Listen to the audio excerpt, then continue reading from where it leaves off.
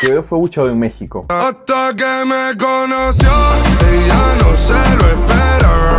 La noche de este domingo 27 de noviembre, en el país centroamericano, se dio lugar al festival de reggaetón más grande del mundo. Exactamente el Coca-Cola Flow Fest, en el que público ha abasajado todo tipo de expectativas nuevamente, con una cifra de más de 95.000 personas en el Autódromo Hermanos Rodríguez, teniendo presentaciones muy ansiadas como la de Teo Calderón, Ozuna, Fate, y Queen, Tito el Bambino, entre otros. Aunque uno de los shows que más llamó la atención fue la de Quevedo, pero sobre todo por lo que pasó anteriormente, ya que este realizó un show en solitario en el Frontón, México, siendo un total éxito, llevando artistas como Lola Índigo o Omar Montes, en otra noche soñada previo al Flow Fest. Ya el domingo y con las expectativas a full, con el mayor representante español, este iría bien, hasta que por parte del público empezaron a gritar que se bajara, al punto de ser abucheado.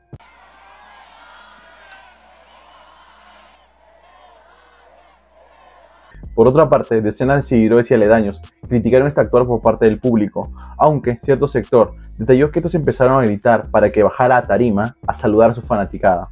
Pero ¿y tú? ¿Crees que fue para saludar? Recuerda que si quieres mantenerte informado de lo que acontece en torno a la música, puedes seguirme en mi cuenta de TikTok o también en mi cuenta de Twitter como arroba sirtoti.